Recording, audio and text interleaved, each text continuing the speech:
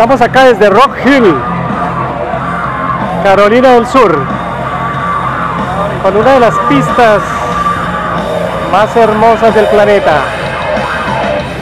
Un sector, un área hecha para el respeto de todos los pilotos y de la familia del BMX Mundial. Estamos en los nacionales de Carolina, USA BMX. Aquí está el Sebas Barragán, representante del Team Barragán y de BMX International Team.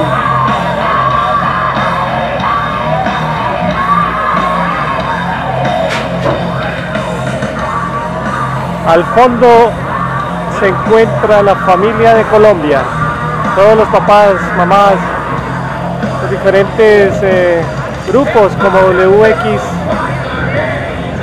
W1, Colombia BMX Team,